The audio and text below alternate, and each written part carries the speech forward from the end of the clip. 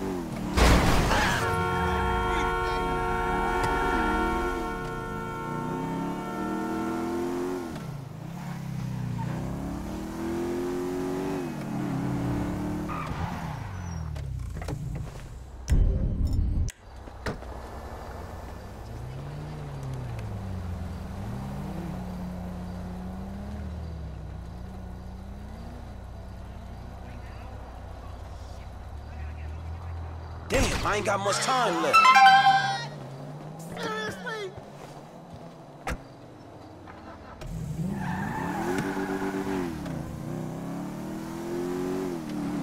Hey,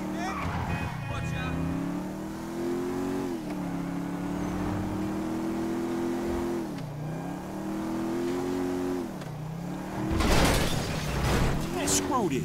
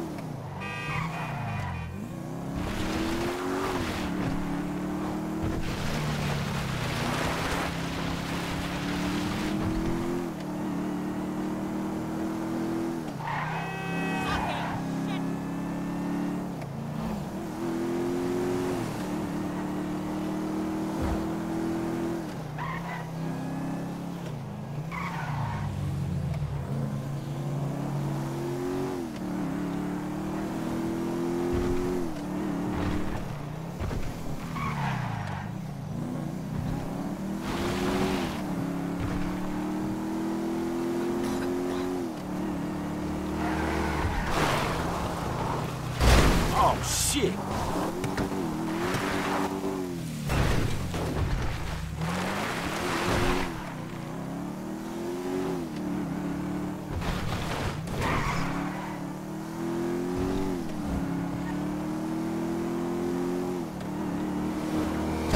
I'm sorry, fool.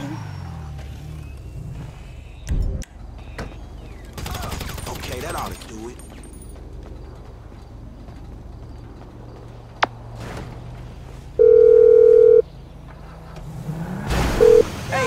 done, homie. All of it. Very good. I'll be in touch.